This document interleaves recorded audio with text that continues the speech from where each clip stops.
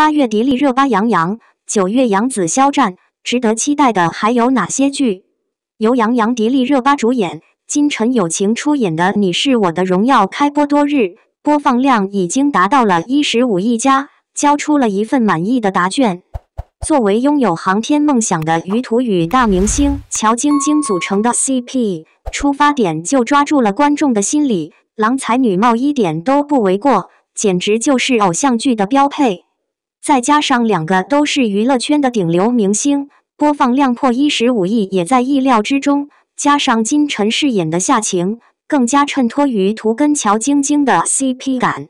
同样作为偶像剧。杨紫、肖战主演的《余生，请多指教》已经定档九月八号。作为娱乐圈小花，杨紫童星出道，有《家有儿女》、《香蜜沉沉烬如霜》、《欢乐颂》以及《亲爱的热爱的》等多部经典作品战绩。再加上杨紫本身性格爽朗，跟男明星相处容易处成哥们，自然没有什么绯闻，而且也不跟剧中男主炒 CP，除了演戏就是参加综艺节目。凭借这一点圈了不少粉丝。杨紫是典型的情商高的那一种人，在综艺《萌探探探案》中，因为杨紫欺骗那英，所以那英把个人情绪带入到节目当初，处处刁难杨紫，导致杨紫粉丝不满。为了安抚粉丝，杨紫亲自下场替那英解围，表示那英只是不会玩而已，要跟那英一起组队，给足那英面子。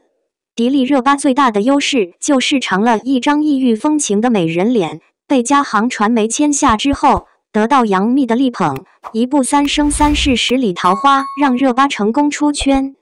之后又常驻综艺《极限挑战》，爽朗的性格自带综艺效果，更是圈粉无数。这一切自然离不开杨幂的支持。